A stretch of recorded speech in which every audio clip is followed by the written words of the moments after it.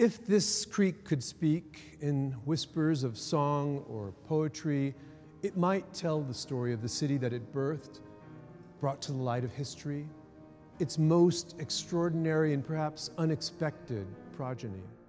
These words in part come from my imagination, but in part they come from history itself, and in part they come from the creek herself. I'm John Phillip Santos. I'm a writer, filmmaker, South Texas geomancer.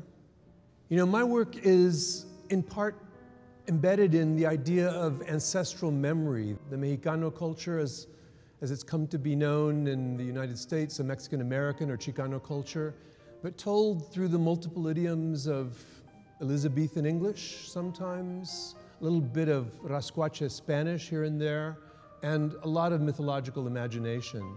My tools are very simple. My tools really are notebooks, very specific sets of Japanese pens that I use in those notebooks.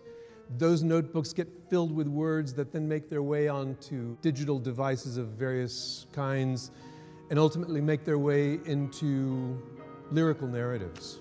The San Pedro Creek Culture Park is a unique achievement. Um, I don't know of any other place in the world really where an undertaking like this has sought to return a city's attention to its own history. The San Pedro Creek Culture Park is meant to be a place where we, in a sense, can experience the epic story of San Antonio's emergence. I was invited to join the enterprise about three years ago. I was a, a, mythographer working between the designers and the historians to try to draw forward the underlying mythic narrative that tells the story of San Pedro Creek in deep time.